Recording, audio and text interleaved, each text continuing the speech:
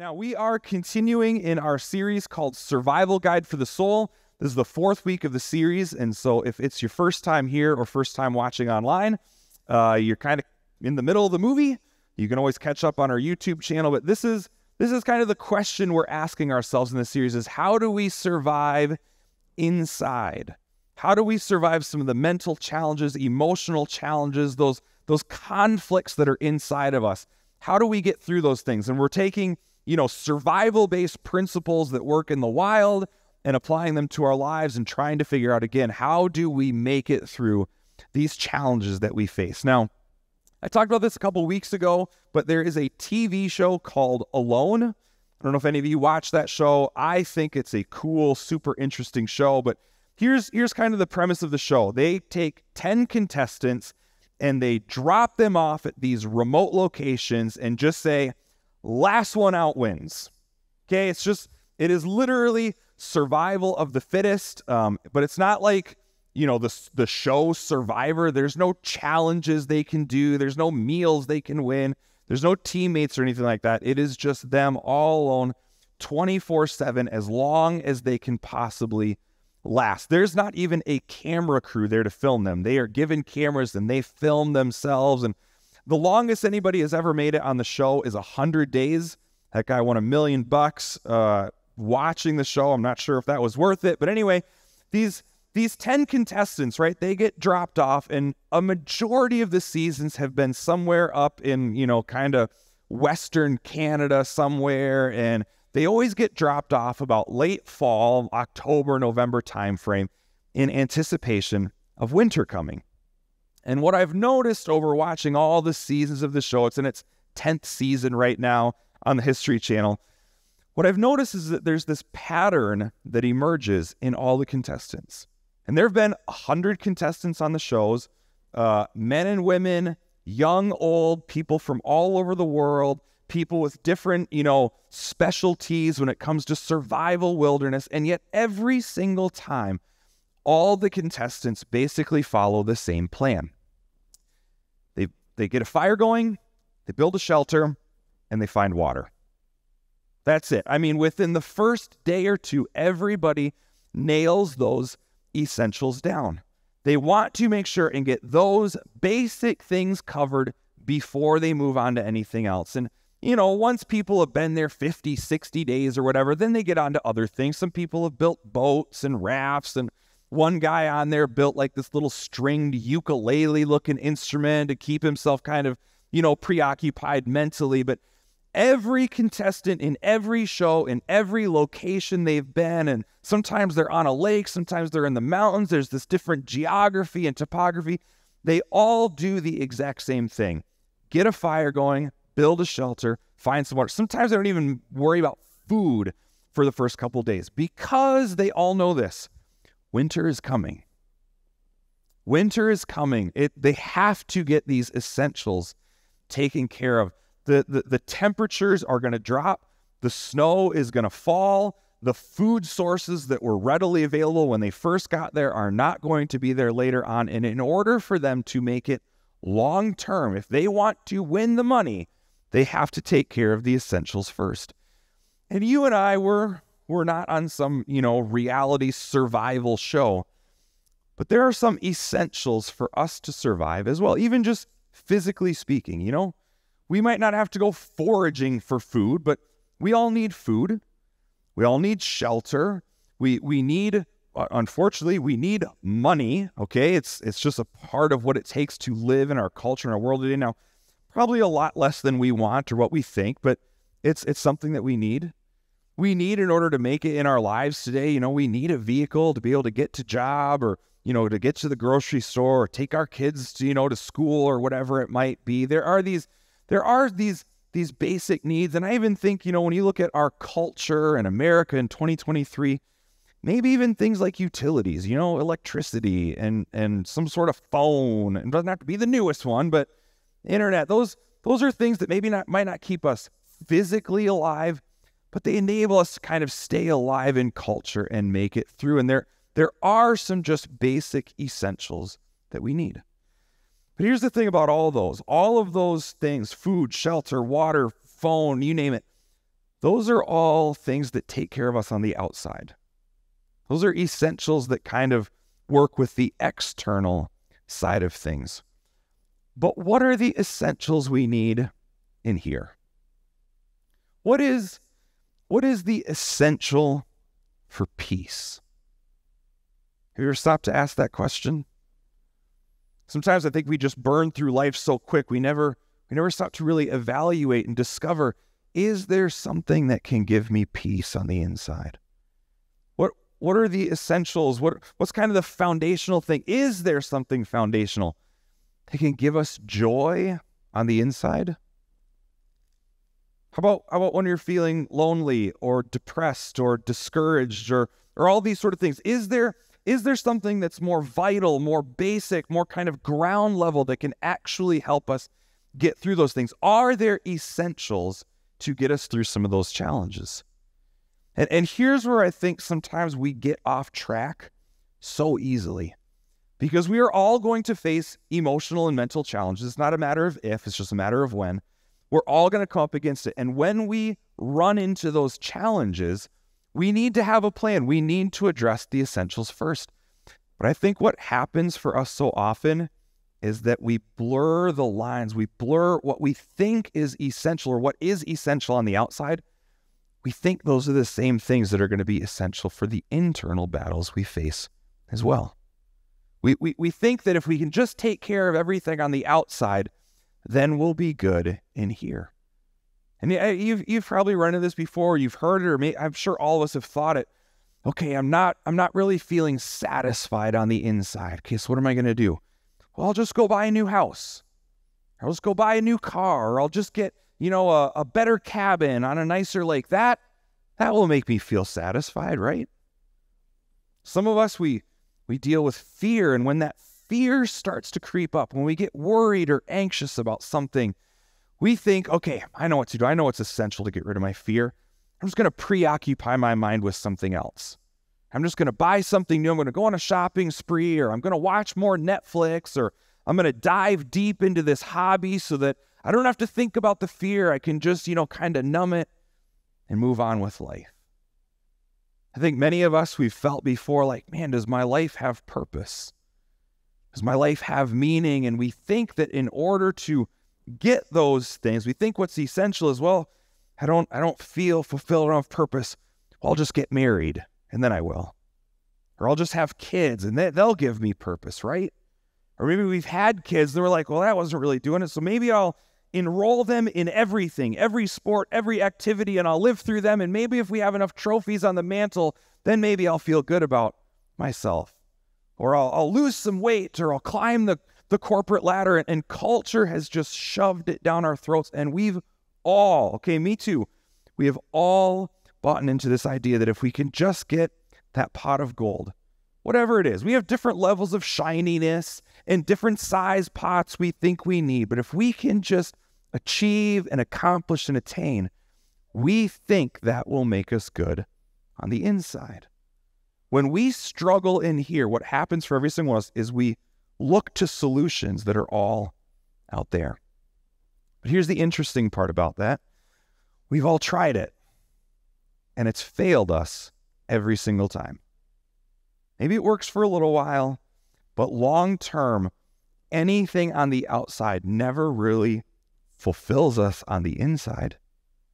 I think celebrities are are great for the celebrities. I, I wish often celebrities weren't a thing, but I, I think they do serve this incredible purpose in our lives that, that you have these multi-millionaire, multi-billionaire people with more resources, more wealth, in better shape, supermodel bodies, more opportunities. I mean, just more of everything. And yet they're still lonely. And they're still depressed and they still get anxious and they still feel this this sense this nagging inside like isn't there something more?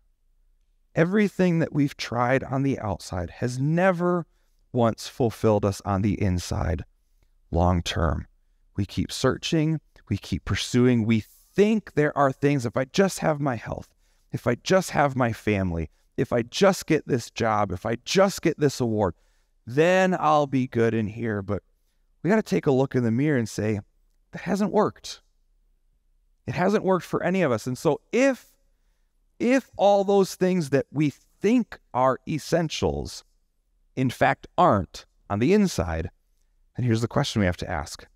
What is? What is the essential thing that we need for the struggles and the battles and the survival challenges that we face in here? Is there something that we can look to, pursue, that can actually do what we need in here? Now, Jesus talked about this often. I mean, uh, most of what he talked about had to do with this, but there was one specific time where Jesus was teaching on a hillside and there are thousands of people around and and nobody brought lunch. Okay, I don't know if they forgot it or what, but Jesus there and he does this incredible miracle. Maybe you've read about it or heard about it. Jesus feeds 5,000 people. Amazing. Holy cow. Everybody sees this miracle in front of them. They're like, Jesus, you're the one. This is awesome. Thank you so much for giving us food. Well, later that night, Jesus and his disciples get into a boat and they cross the lake. And the next morning, when these thousands of people wake up, guess what? they're hungry again. And so they're thinking, where'd, where'd Jesus go? This guy is like shooting sandwiches out of his hands. We need to find him, right? And so they they go around and they look and they find Jesus on the other side of the lake and and they ask him, "Hey, give us give us more food." And and you know, to be fair, food was much more scarce back then than it, you know, is for us now, but Jesus responds to them with this. He says, "I tell you the truth. You want to be with me because I fed you not because you understood the miraculous signs. But don't be so concerned about perishable things like food. Instead, spend your energy seeking the eternal life that the Son of Man can give you. Jesus looks at these people and he says, Man, you're so you're so concerned about these temporary things. This this this food that you want, yeah, maybe it's important, but it's not it's not the necessity that you think it is. Jesus says he's responding to them is trying to get them to see beneath the surface that there's more than just physical needs. There's something else that he could offer them better than food. And they don't get it. You can you can keep reading and they just keep asking, okay, but do you have food? Okay. We hear what you're saying, but like we'd really like a foot long. Jesus, just give us food. Moses gave us food. Can't you give us food? And in John's, you know, as, as John's writing, he doesn't write down all of Jesus' facial expressions, but I just, I picture Jesus going like this, like, oh, you people, holy moly. And he says this I tell you the truth. Okay, l- listen up, people. I tell you the truth. Moses didn't give you bread from heaven, my Father did. And now he offers you the true bread from heaven. The true bread of God is the one who comes down from heaven and gives life to the world. Again, let's let's look a little deeper than what than what you think. Jesus said, "Yeah, there's there's life on the outside, but there's also life on the inside. Why aren't you asking about this life on the inside? There is bread better than the bread I gave you for lunch yesterday." And they still don't get it. They keep asking, so you're saying there's bread from heaven. Can you send us that? He finally gets to this point. He just says, Listen, I am the bread of life. Whoever comes to me will never be hungry again. Whoever believes in me will never be thirsty. These people, these thousands of people, and I think what happens for all people, so focused on the perishable things, so focused on the external things so focused on things that are ultimately temporary that we miss what's most important. We miss what's most valuable. We miss what our most, how our most basic human need can be fulfilled. And Jesus says, Listen, I can give you bread if you want, but I can give you something even better. I can give you life on the inside.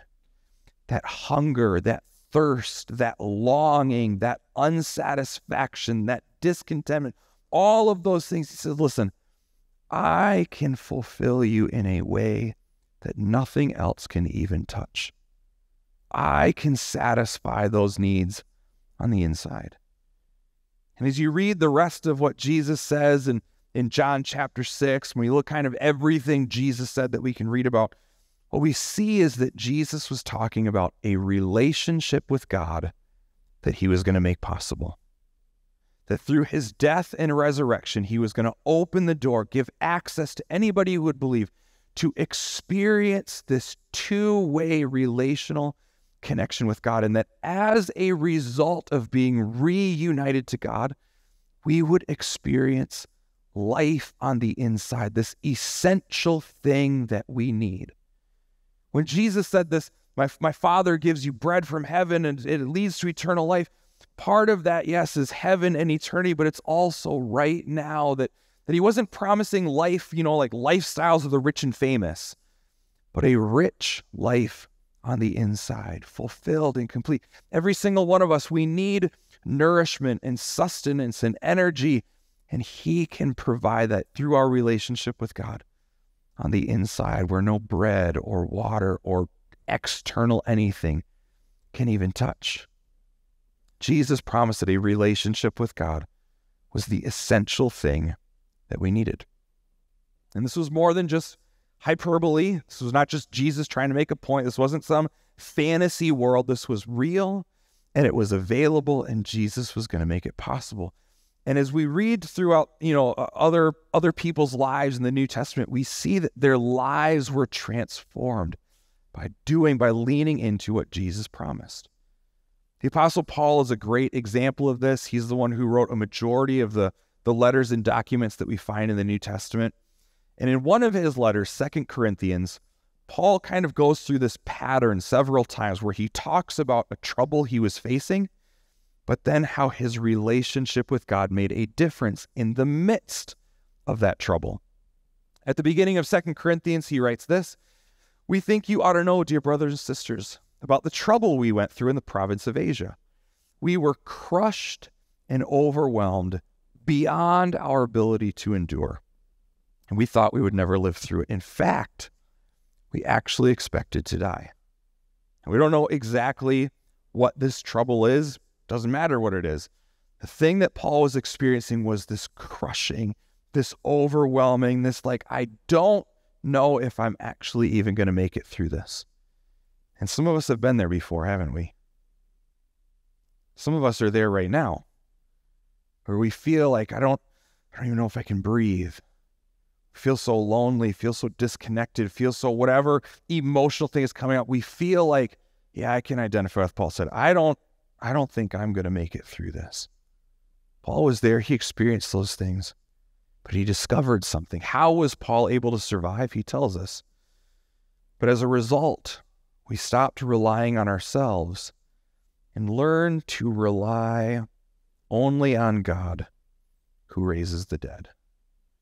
We thought all these other things were important, but guess what? We realized it was only God that was going to make a difference where we needed it the most.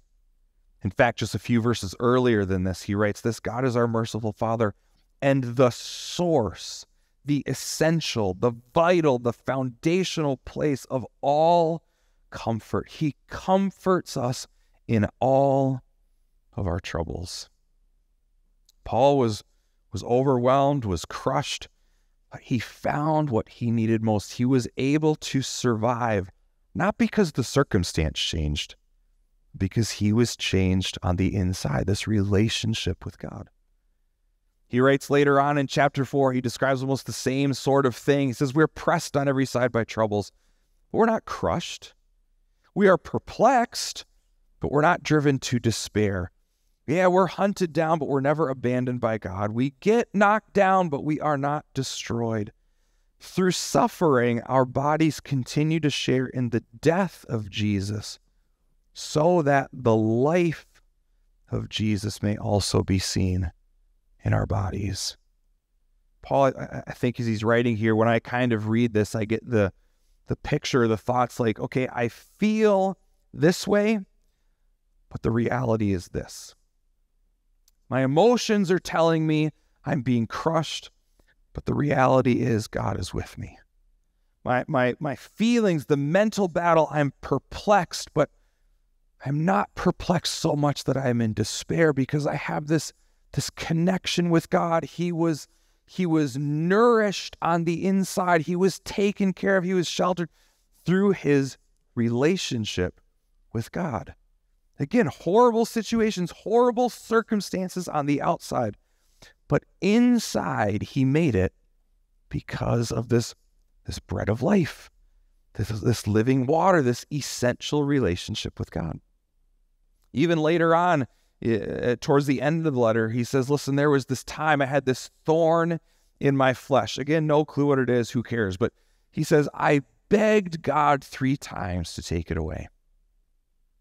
Has there ever been a situation in your life where you begged God to change something? You beg God to change a situation, to bring a loved one back, to change a diagnosis, to, to provide in some sort of way God, I need you. Tears in our eyes, begging you, Father, please change something out here so I can be good in here. That was Paul. This, this spiritual giant. Oh, the great apostle Paul, man, he was the same as us. He experienced the same survival challenges on the inside that you and I do. But God told him, I know that's what you want, but my grace is all you need. My presence is all you need. It is it's it's me who can change you. It's me who can sustain you. It's me who can give you the life that you want regardless of what happens on the outside. And I man, I just think like the most essential thing that we can do in our lives is to build a relationship with God hands down, it is the most important, most crucial, most essential thing that we can do, but we overlook it so often. You know, it's it's it's not as urgent on any of our lists as I really think it ought to be, me me included. And I just wonder like how much better prepared would you and I be to survive the inevitable challenges we're going to face if we had if we would take time to build our relationship with God first. If we would take time like all the contestants on the show alone to cover to get the essentials secured first, how much better would we be inside? Like like what, what if what if rather than waiting to build a shelter, we grew in our relationship with God now?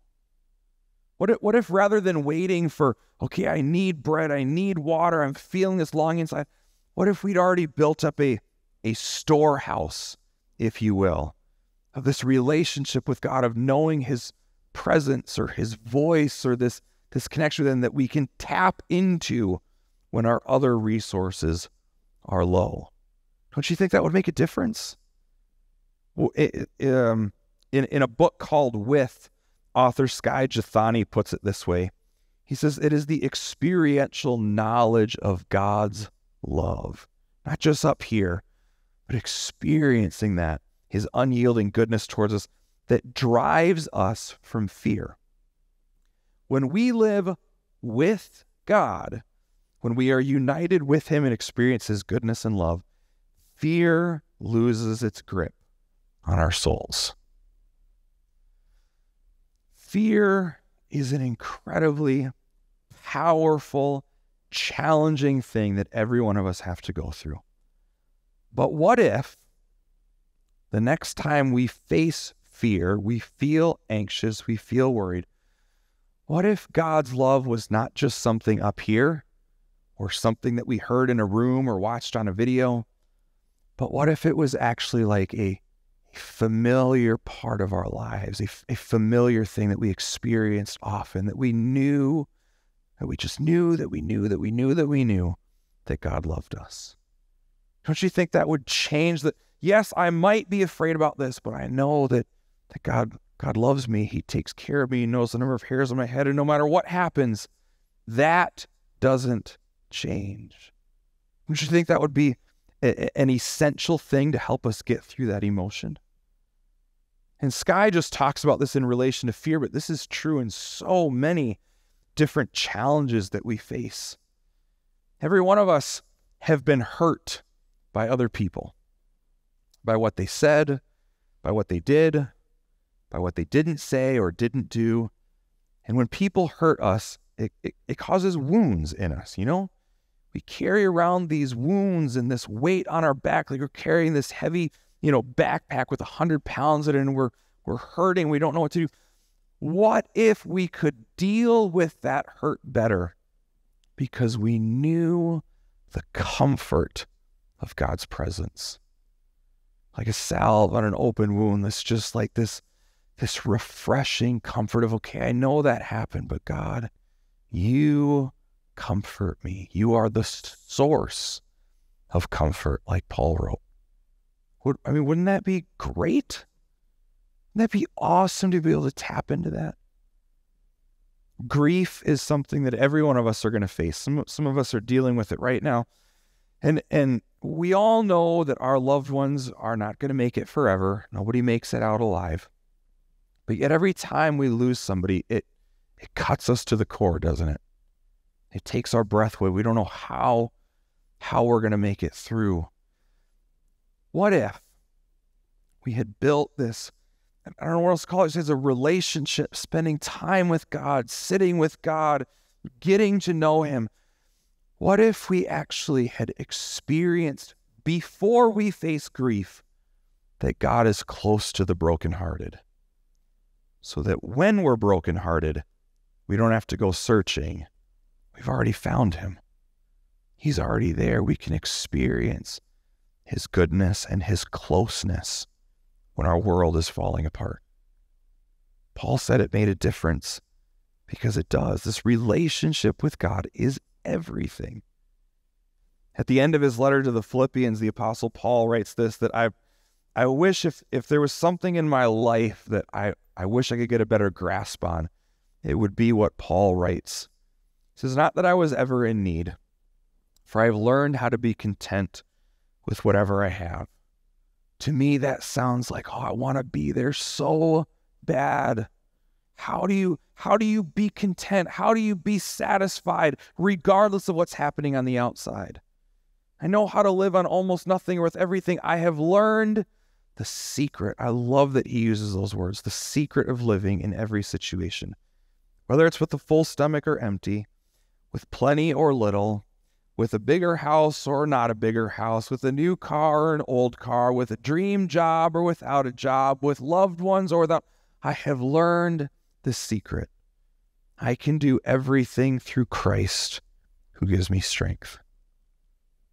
Paul says is listen, I can get through anything because I have a source of strength that isn't affected by circumstances and external effect. I can weather any storm because I have this source of comfort in me. I could face any challenge because the God of peace is with me.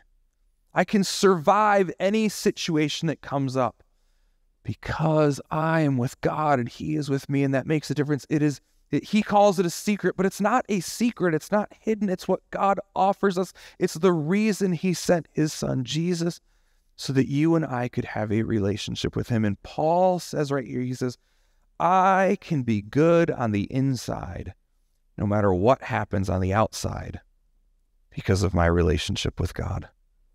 And like, I want that so bad. I've experienced that before several times in my life, these moments, but like, I just want to live there more often, you know? When, when it comes to surviving in the wild, getting the essentials is crucial and it is no different when it comes to surviving our own hearts and minds and emotions and challenges. A relationship with God that Jesus makes possible is, again, the most crucial thing there is. And man, I just want to I want to encourage every single one of us to not put it on the back burner. To not wait until a challenge comes up. I mean, he'll be there and he's ready all the time, but how much better prepared could we be if we covered the essentials first? If we if we were just spending time with God changes everything, makes a difference. Spending time with him in prayer, spending time with him reading the Bible, spending time with him in relationships with other people like we talked about last week, all of these things even just sitting with God where we don't have to say anything and He doesn't have to say anything. It's just this shared experience with Him. And like, how, how much better? Just think about tomorrow when you wake up in the morning. How much better prepared do you think you might be if you just said, Father, I'm already feeling stressed. I know I've got this and this and this coming up, and I just don't know how I'm Father, I need you to give me peace on the inside. And then we just sat with God and Father, give me your peace. Share with, give, may you produce your peace in me. If we just started off the day that way.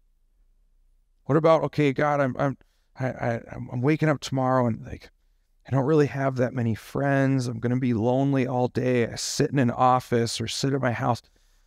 God, I want you to be close to me today. Okay, I know you are, but I need to experience your closeness. I want you to make a difference. You promised I would never be hungry or thirsty. Satisfy that need on the inside. What if we just sat with God and talked to Him and built a relationship like that? Father, I'm, I'm feeling I'm feeling worn out, feeling tired, feeling like I got I got no strength left. God, I need you to give me strength. I need you to satisfy me in the inside. I mean, I think it would absolutely change everything. Jesus made it possible for us to get the most essential thing that we need when it comes to soul survival. So let's just lean into it. Let's enjoy, let's seek out, let's spend time with God and allow Him to fulfill the needs, that longing inside us that we can't any other way. And so, as we wrap up today, we've actually got a few minutes left in the service. I just want us to practice that. You know, we're just going to sit here for a couple minutes and I'll kind of give us some prompts, but we're just going to talk to God and kind of leave it open. Nobody has to say anything out loud, but for us to just communicate with God and, and begin to build that relationship with Him for each one of us. So just get comfy. We'll take two or three minutes and let's just sit with God together. Father, for some of us, this is a, a very familiar thing. For others of us, maybe we're sweating a little bit or nervous or like, what is this? Father, right now, we just want to focus on you. We just want to experience you. Help us, help us kind of calm down internally. Help us just kind of set our minds and our hearts on you. You promise us something that every one of us need, and we want it, God. We want what you have so graciously offered us a relationship with you.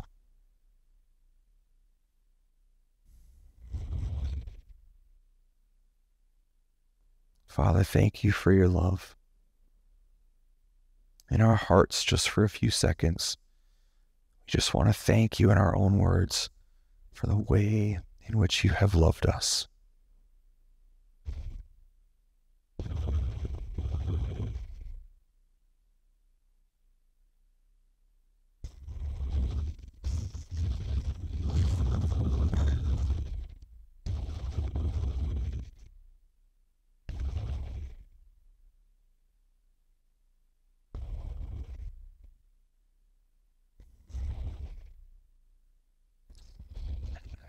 Father, life isn't always easy, and there's some of us that we are facing a mountain in front of us emotionally with grief or sadness or worry.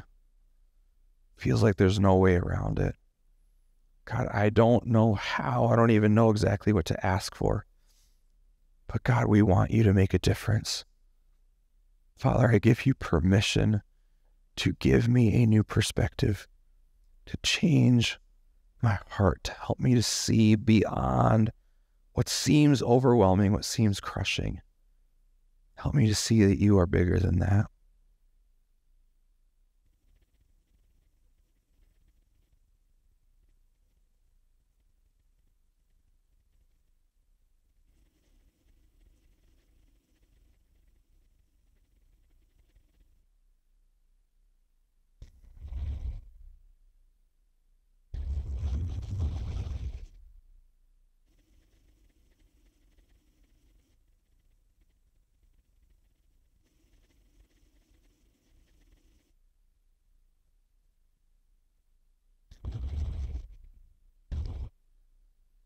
Father, I want to ask you to help me seek you first. I know for me, I am always tricked and blinded by the lights of culture and external things. And yeah, just one more, newer, bigger, better, faster, stronger. Father, I, I don't want to fall into that trap again. I, I, I want you to become the source of my life, the source of my joy, the source of my peace. And so I just give you permission to become that in me. Protect our hearts, Father. Protect our minds from looking in other directions, from thinking that other things are more essential when it's really, it's just you.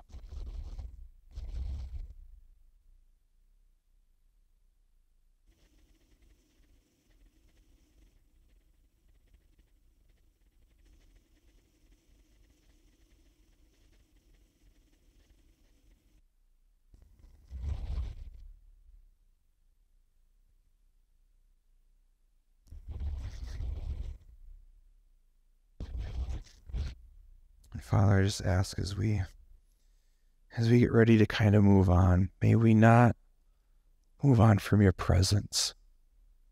Father, this to, to experience you doesn't need to be in a, a, a setting like this. We can be with you anytime, anywhere when we put our trust in your Son, Jesus.